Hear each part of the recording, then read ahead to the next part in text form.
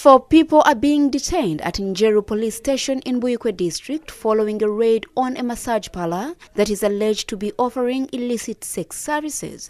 Police spokesperson Fred Enanga says all the suspects are employees of Club 9 Massage and Chill Outs in Bukaya West Zone, Njeru municipality in Buikwe district. We are now going to, to charge this proprietor of Cloud 9 Massage Parlor and three others for trafficking in persons for sexual exploitation. These suspects were arrested following a tip-off to the area defense secretary by a worker at the massage parlor who was concerned by the alleged illegal activities at the facility. Police note that many massage parlors in the city are doing the same. We've established that uh, the same massage parlor, just like many others, the information is beginning to come.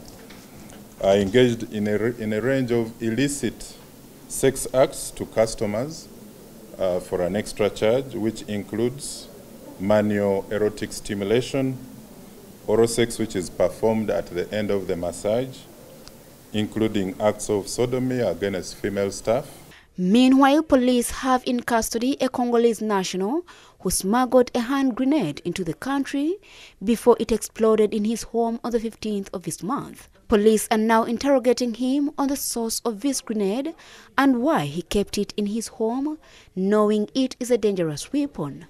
He had two passports with him. He was in possession of two passports, one for the DRC and another one for Burundi. So we are further profiling him, but uh, for, the, for the moment, we are charging him for being in unlawful uh, possession of dangerous explosives. And uh, this is a 39-year-old refugee from North Kivu. Also, Nakaseke District Fisheries Officer Edmond Mpata and a private security guard are in police custody following the kidnap and murder of a one Alex Higenyi.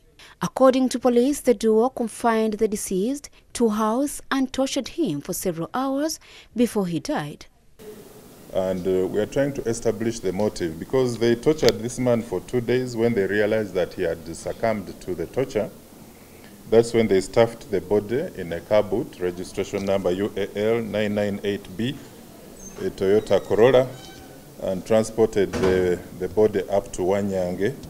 From the Directorate of Traffic and Road Safety, a total of 1,187 vehicles have been deregistered by police as it started a crackdown on vehicles in dangerous mechanical conditions around the country.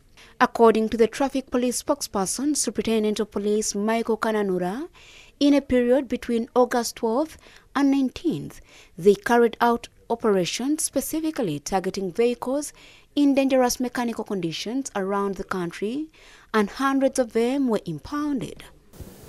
Uh, a total number of 2,217 motorcycles were impounded on various offenses. Out of these, 1,196 were riding on roads without driving licenses.